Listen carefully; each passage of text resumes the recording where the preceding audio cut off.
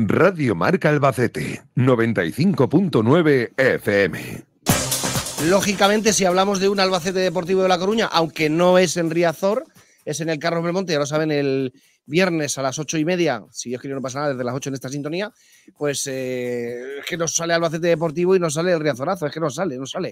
Es una cosa que, llevamos dentro y que, aunque pasó un tiempo, esto lo va a recordar todo el mundo, estuviese en Riazor eh, o no, y seguramente el que más lo recuerda de todos, o por lo menos es uno más, fue el que marcó el segundo gol del Albacete ante el Deportivo en ese famoso riazorazo, que es eh, Jordi Sánchez. Nos vamos a tener que ir a Japón, a, Sapporo en concreto, porque él está jugando allí en el equipo, a ver si me sale, Hokkaido Consadole Sapporo, que seguramente es muy pero bueno, ahí es donde, donde está. Hola Jordi, ¿qué tal? Muy buenas. Hola, muy buenas. Bien, bien, aquí estamos. ¿Qué tal por Japón? Bien, bien, bien. Eh, ha llegado el frío ya, pero, pero bueno, eh, quedan siete partidas de liga, siete partidos de liga para, acabar. Y bueno, luchando para no bajar, pero, pero bueno, aquí estamos. Bien, bien, todo bien. Eh, ¿Cómo salió la oportunidad de irte para allá? Estabas en Polonia. Sí, la verdad que después de una buena temporada, hombre, siempre queremos que sean mejores, pero bueno, creo que dentro de una buena temporada de, donde metí 11 goles, pues a través de un intermediario japonés que vino a ver un partido, bueno, primero un partido y luego vino a ver varios, eh, pues trajo al scout de, este equipo de primera división de aquí de Japón y, y nada, pues en verano, en cuestión de dos, dos, tres semanas de negociaciones, pues al final salió la oportunidad y, y bueno, creo, creo y que es una buena oportunidad para mí, para, bueno, como experiencia y vivir otro, otro nivel y otra, otra primera división de otro país que, que es un país como Japón que, que motiva mucho. ¿Cómo llevas eh, esa experiencia, eh, pues no sé, eh, con la comida, con la vivienda, con el idioma? El idioma creo que es lo más difícil, porque a pesar de que es una una cultura donde siempre intentan aprender y son muy humildes y muy trabajadores y, y demás, eh, el inglés lo domina un poco y eso incluso en el vestuario me, me está costando un poco más. Pero todo lo demás es muy rutinario. Al final tenemos una vida pues muy de entrenar, cuidar la alimentación, en el descanso. Entonces, eh, en ese sentido, muy bien. Eh, la comida, pues todo lo que hemos podido probar, pues nos gusta mucho a mi mujer y a mí y, y nada, la verdad que ya te digo, muy rutinario, eh, ir al súper a comprar lo que compraríamos en España eh, y nada, por ahora todo bien, el club, el tema de vivienda, pues eh, la verdad que muy bien, el club se ha encargado de todo y, nada, muy diferente, pero, pero muy bien por ahora. Mm, os faltan siete jornadas, creo que firmaste otra temporada más, ¿vas a seguir? dos más, dos más. Ah, Aquí, bueno, firmé, sí, sí, firmé dos más. Y aquí las temporadas van de enero a, diciembre, que es un poco más raro que, en Europa. Bueno, febrero, empiezan en febrero y acaban en diciembre. Y, hombre, contrato tengo, ya veremos si nos mantenemos o no, esperemos que sí, pero aunque no nos, aunque no nos salvemos, sigo, sigo teniendo contrato. Bueno, ¿y al Albacete lo sigues? Sí, sí, sí, sí, la verdad que sí, sí, hombre, por supuesto vi el, el 1-4 del otro día y, y los dos últimos partidos está jugando a una buena hora para mí, porque aquí son siete horas más. Y los dos últimos partidos ha jugado. El primero creo que me pilló a mí a las nueve, que perdió Miranda 2-0, me pilló a mí a las nueve de la noche. Y el otro partido me pilló a las once y pico, que también lo pude ver. Y, sí, sí, a ver, mientras haya algún compañero que, tenga buena relación como Ricky o como Higinio, pues eh, seguiré, seguiré viéndolo. Y bueno, ya a nivel sentimental, pues quieras o no, a, pesar de, la distancia, siempre Albacete va a ser, va a ser bueno seguirlo y, siempre voy a estar pendiente del Albacete, la verdad. ¿Qué recuerdos tienes de aquel gol, de aquel partido en Riazor? Pues hacía, hace poco lo, hablaba y, la verdad fue un momento de tan eufórico, tan, tan emocional, tan... No sabría cómo explicarlo, la verdad que, hombre, lo recuerdo muy bien, ¿no? Pero también hay como lagunas de ese éxtasis que, te lleva a la locura máxima en un momento de euforia absoluta, pues hay lagunas de, que no te acuerdas muy bien qué, es lo que pasó o cómo se hizo, ¿no? Pero eh, son sensaciones que, bueno, cuando te he escuchado en la introducción, se me han mojado los ojos de, recordar eso y, y, lo espectacular que fue, porque a lo mejor otro club no, no le da importancia, pero eh, nosotros el, albacetismo entero, pues creo que le damos una importancia y un valor que realmente lo tiene. Eh, bueno, como se dice mucho, pues eh, David contra Goliat, el pequeño contra el grande, en, en hostil, pues al final son cosas que, hay que valorar y, son cosas que no, pasan cada día. Entonces, son cosas que son muy bonitas de, recordar y que quedan en, la historia y en la retina de, de todos. Porque con todo en contra, aquel famoso playoff que se tuvo que jugar en tierras gallegas, con muy poquita gente de Albacete, porque no, no había más eh, localidades, no sé si eran 400 o 500 espectadores de, Albacete más o menos, e, euforia total desde los pupitres de los medios de comunicación, las calles de La Coruña, eh, Riazor, eh, hasta la bandera, es que era, todo en contra, pero de pronto se convierte el Albacete, no sé cómo decirlo, pues en la aldea eh, gala de Aster y Jovelis y, se gana. Increíble, ¿no? Sí, sí, sí. Eh, bueno, aparte, pues la familia que, vino hasta, hasta Coruña a ver el partido, desde Barcelona, desde Albacete, eh, mi mujer tuvo que, llegar allí en bus dos días antes. Bueno, fue, fue una locura.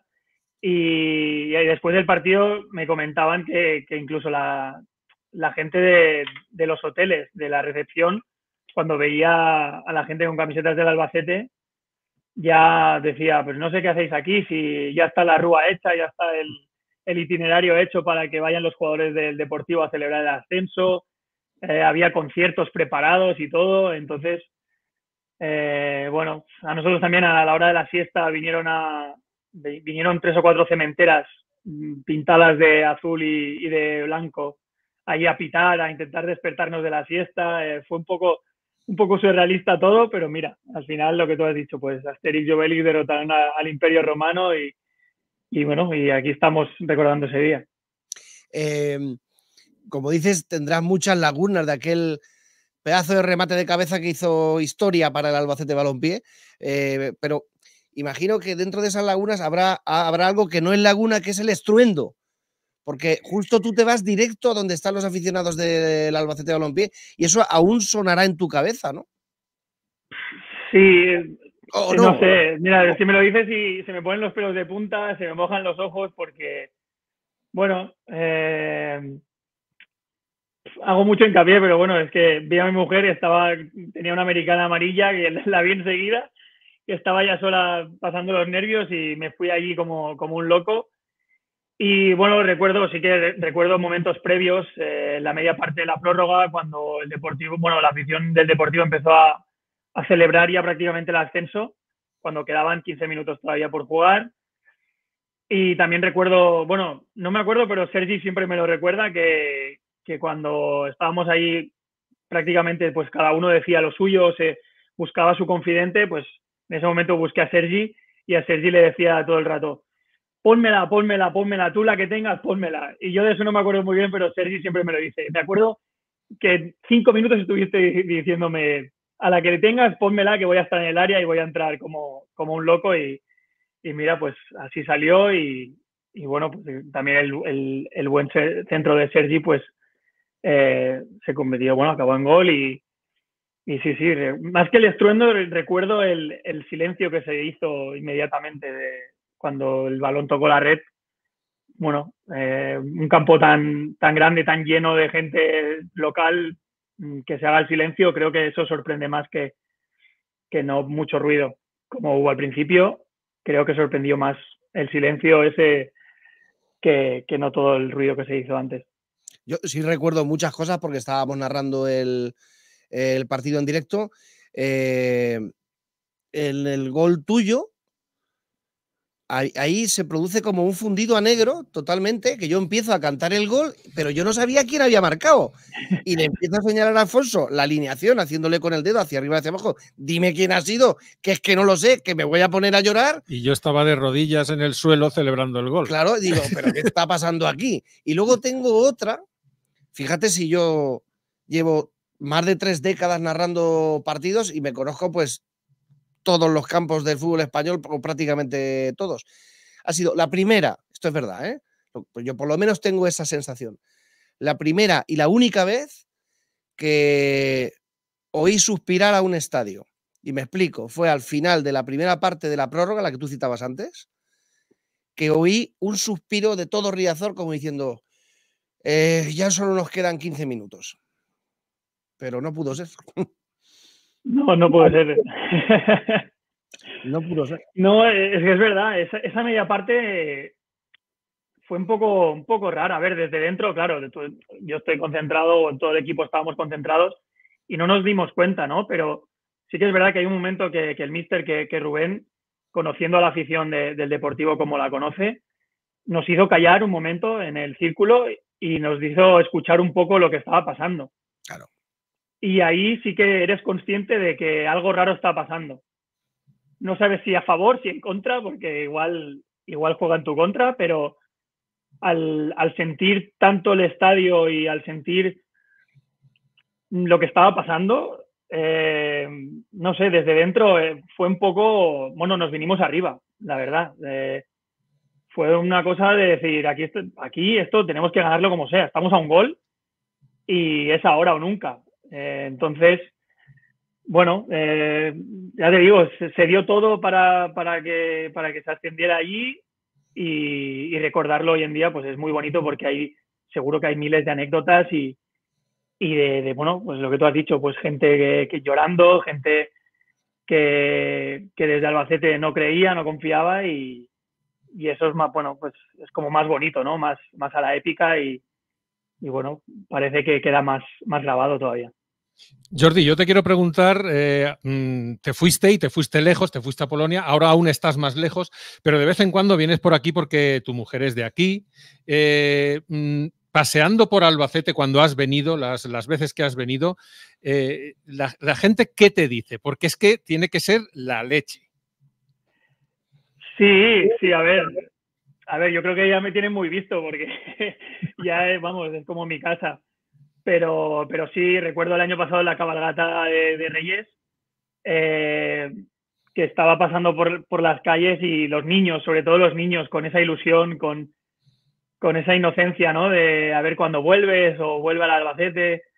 Eh, o gente que ni siquiera te dice nada, pero escuchas de fondo, hostia, Jordi Sánchez, ¿sabes? Es como, eh, bueno, es divertido y, y la verdad es que, pues, que, que, que emociona, Jolín, al final que, que te reconozcan por algo tan bonito, pues es, pues es bonito, ¿no? Eh, entonces, eh, bueno, yo siempre muy agradecido. Eh, si me pide una foto o lo que sea, pues siempre intento responder y, y, por supuesto, pues con una sonrisa en la cara que al final que la gente te recuerde de esta manera, pues es, es, muy bonito y creo que también es muy difícil porque a veces pasamos por los equipos como como un suspiro y parece que la gente no, nos va a recordar. Y, y, jolín, yo al final estuve solo una temporada en Albacete, pero que la gente siga teniendo ese cariño y, ese reconocimiento, pues es de agradecer y, nada, pues, pues como es de agradecer, pues muchas gracias a, la gente que, lo vea